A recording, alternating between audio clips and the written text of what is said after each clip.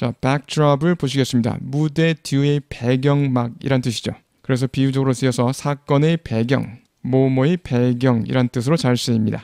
against a backdrop of 뭐뭐뭐 또는 against the backdrop of 뭐뭐뭐 뭐뭐를 배경으로 negotiations were carried out 협상이 이루어졌습니다.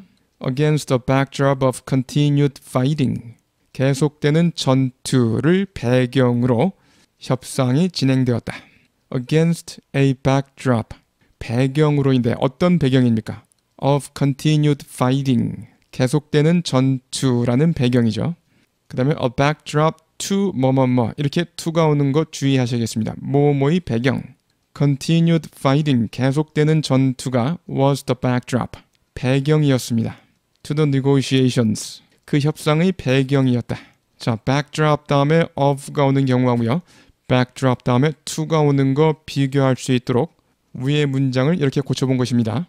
윗 문장을 다시 한번 보시죠. Negotiations were carried out. 협상이 진행되었습니다. Against the backdrop of continued fighting. 계속되는 전투라는 배경. 그래서 계속되는 전투를 배경으로 협상이 이루어졌죠. 그 다음 밑에 것 역시 continued fighting. 계속되는 전투가 was the backdrop. 배경이었다. To the negotiations. 그 협상의 배경이었다. 좋습니다. 이렇게 backdrop 다음에 of 말고 to가 올 때 왜 to가 오는지 그 이유가 명확해졌을 것입니다.